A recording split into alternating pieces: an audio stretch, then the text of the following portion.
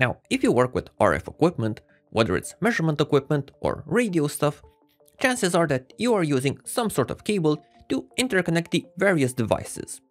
Now, cables can be considered consumables when they are subject to constant bending and interconnections, since they slowly deteriorate and eventually break. This is especially true if they are not handled correctly.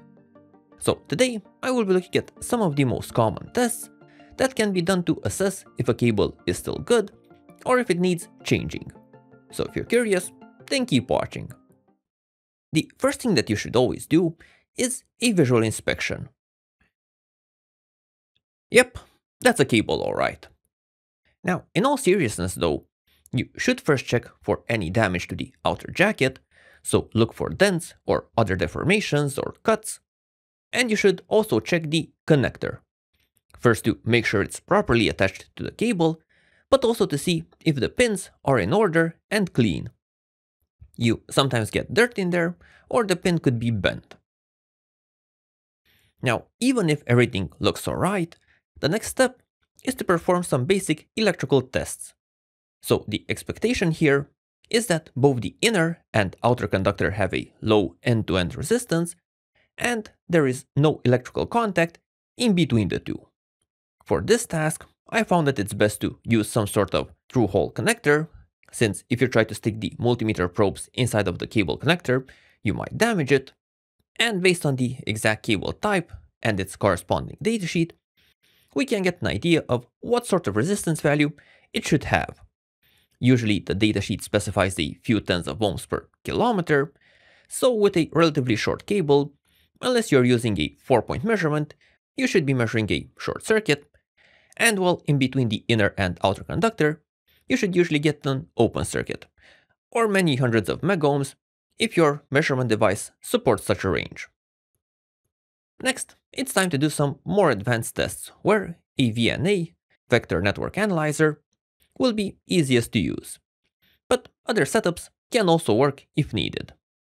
So the whole point of the cable is to take a signal from point A to point B with minimal signal loss on the way. Therefore, the first parameter we check is the attenuation over a frequency range. An ideal cable has zero attenuation, but a real cable always has a non-zero value. And this value increases with frequency. Now, normally, this is documented in the datasheet, so you have some sort of idea of what to expect. Conversion from a default decibel per 100 meter to your exact cable length can be done easily by multiplying the attenuation factor with your custom length and divided by the reference length. Now, this is a two-port S21 test.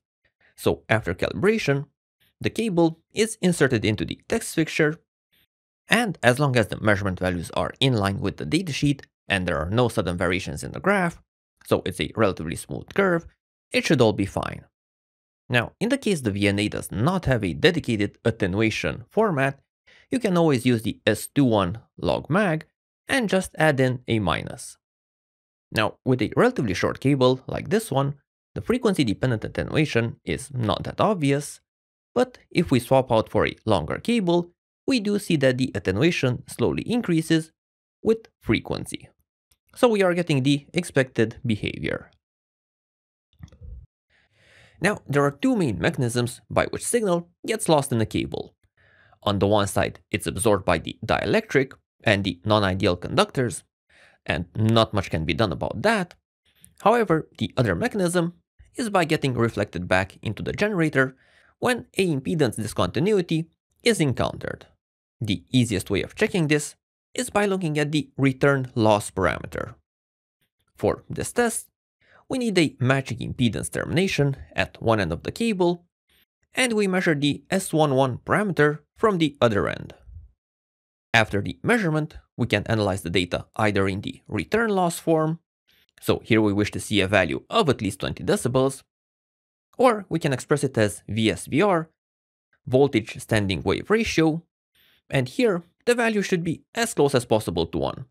Usually below 1.2 is acceptable. Now, my VNA does not support expressing the values as return loss, but we can get that by just adding an extra minus to the standard S11 log mag, so we can use that.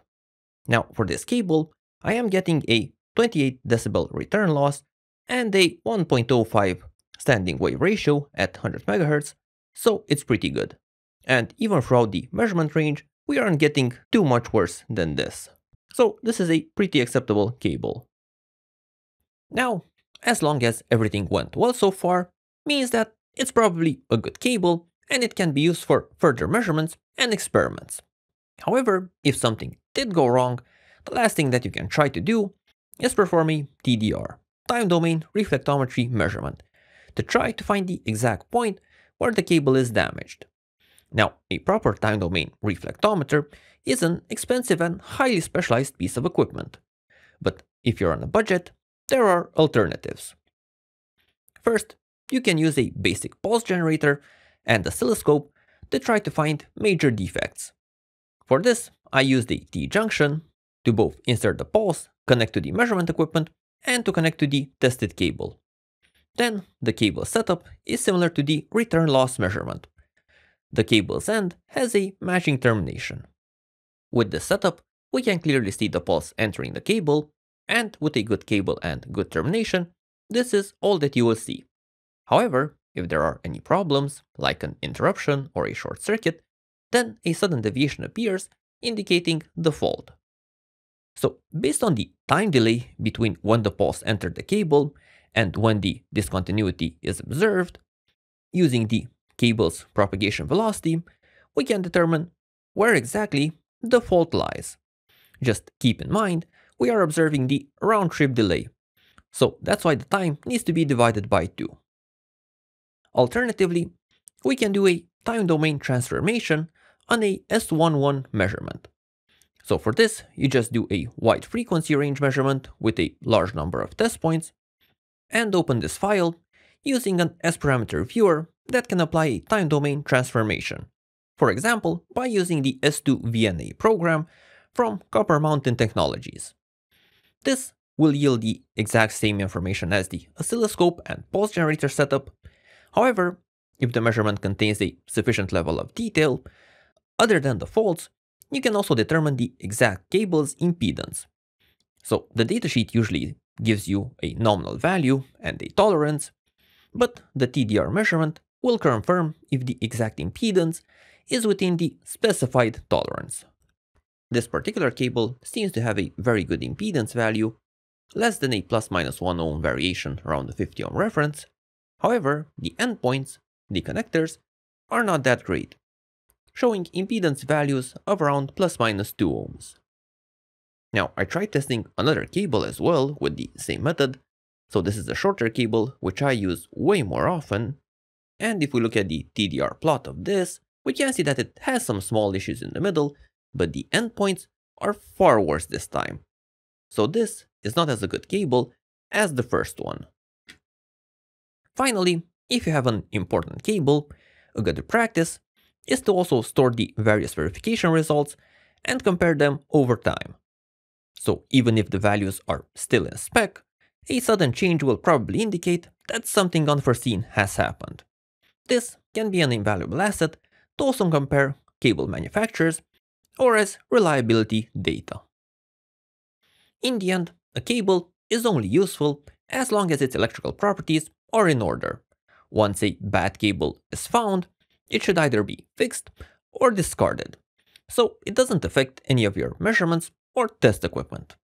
There's nothing really worse than an experiment ruined by a bad interconnection or a faulty cable. And with that said, hope you enjoyed this video, and if so, there are more similar videos on my channel that you might want to check out. And if you want to be up to date with my latest releases, also consider subscribing. See you next time. Bye bye.